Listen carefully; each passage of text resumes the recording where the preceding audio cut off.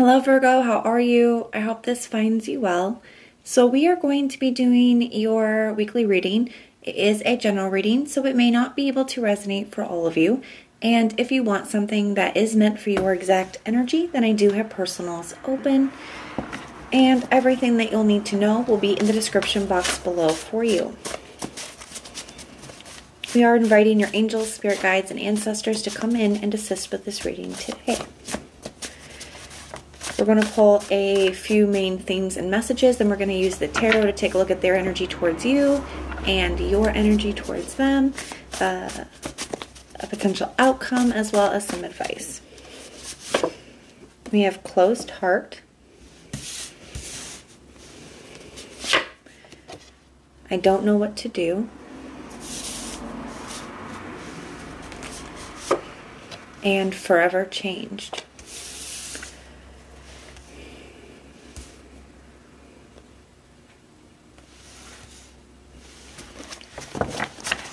We also have redemption here.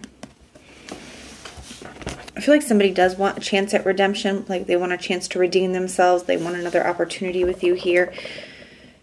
But I, will be honest with you, Virgo, I feel like this is somebody that you guys have been in a cycle with. I feel like you guys have, uh, you know, forgiven this person and given them a lot of, uh, a lot of opportunities here, right?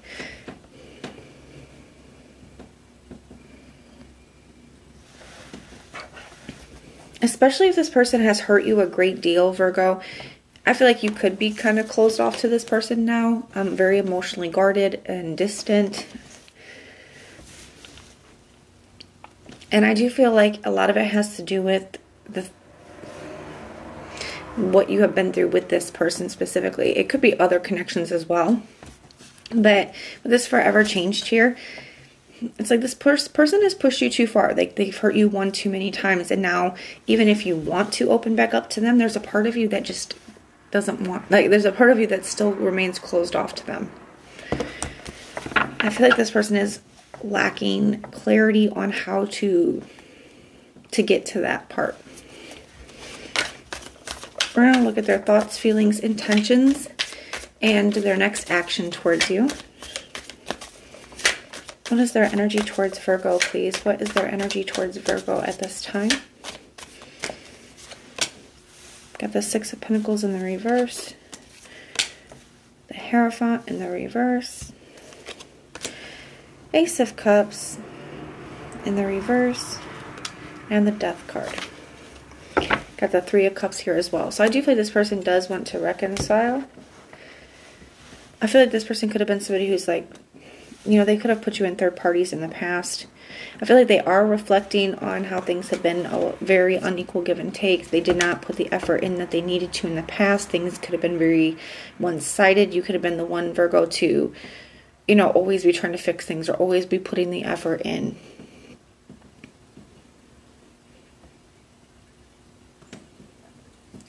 With that energy, they could also be reflecting on you know that you, the fact that maybe you're not willing to um, continue to give to the situation any longer.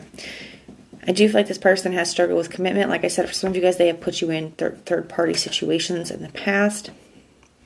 I do still feel like they have some big lessons to learn here with this Hierophant showing up in the reverse, as well as, you know, they still are struggling with commitment here.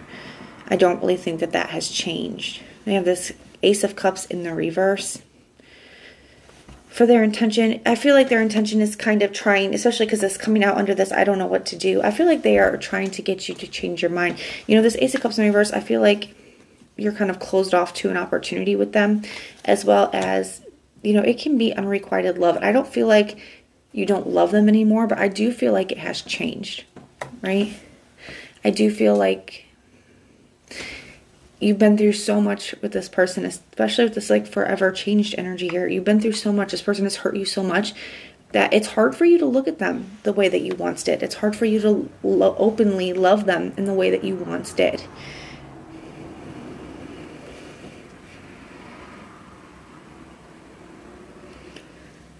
It's reminding me of a song. There's um, by Elle King. It's uh, "Can't Be Loved," and there's this one lyric that says, can't get back to the way that I used to love. And I, I, I feel like that's where you're at. Like it's it's like even if I wanted to, I can't get back to loving you the way that I once did. So your action is the death card. I do feel like uh, or their their action is the death card. I feel like t- that is it could be them coming into some acceptance that maybe it really is over this time that you're not going to be able to open up to them the way that you used to. Um, it can be an energy of transformation. They could be, you know, wanting to uh, transform the situation. We'll have to see. We're going to get your energy out on the table as well. Show me Virgo's energy towards this person. What is Virgo's energy towards this person, please?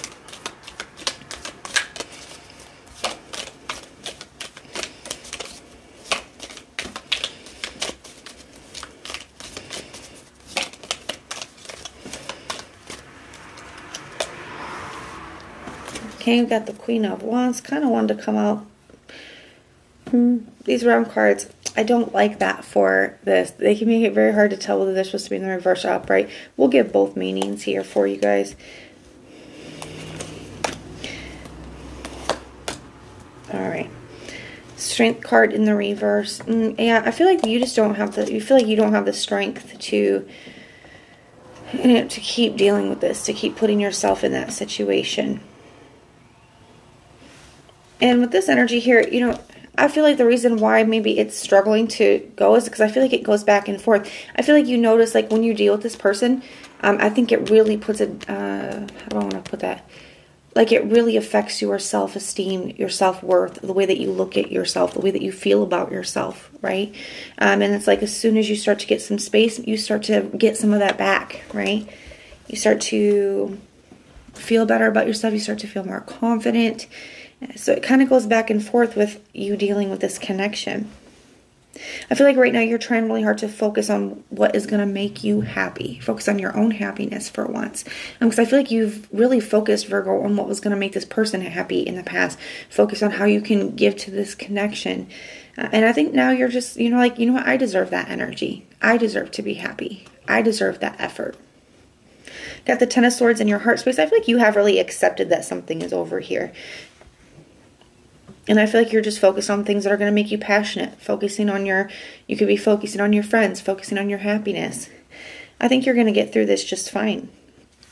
You have the sun card here for your intention. Yeah, you just want to be happy. And I feel like you're seeing things clearly.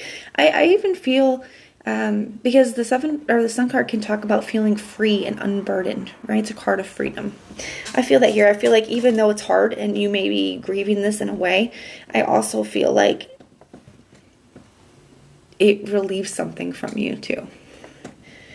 You have the Two of Cups here in the reverse for your action. I don't feel like you're trying to communicate with this person because I don't feel like you want to open that door.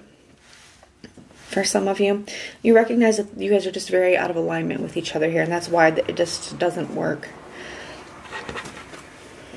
So, we're gonna grab a potential outcome for you guys, and then we will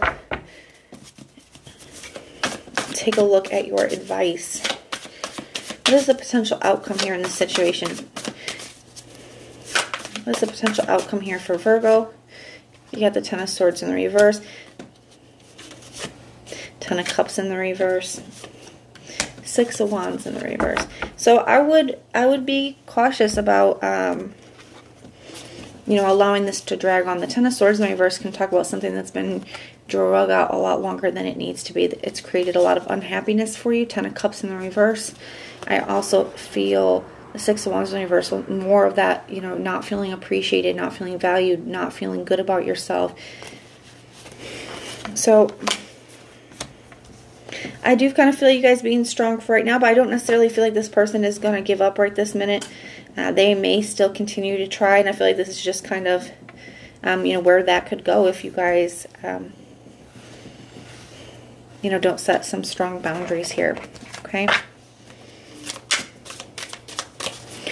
What advice do we have for Virgo? Now, this advice could be just something that Spirit wants you to reflect upon um, or be aware of. We'll see. We'll see what it is. It could be about anything. If you want something different, you must do something different. Where do you desire change? So, where in your life do you desire change? Where are you not happy with the way that things are right now? If you want something different, you must do something different. So, something that Spirit wants you to think about. We're going to get one more for you. Doubt kills more dreams than failure ever will. You can have comfort for now, but then you'll have regret for later. So if there's something that you guys have been wanting to go after or desire, I see that here at the Queen of Wands, there could be something that you guys want to start creating or moving towards. You could be having fear of failure or just having a lot of doubts, and Spirit saying that doubt will kill more dreams than failing ever will. Okay, you can stay in a comfort zone and have that comfort for now, but then later you'll have that regret. Okay, so just something Spirit wants you to think about. But that is what I have for you, Virgo. If it resonates, let me know. If it doesn't, then check out your other placements.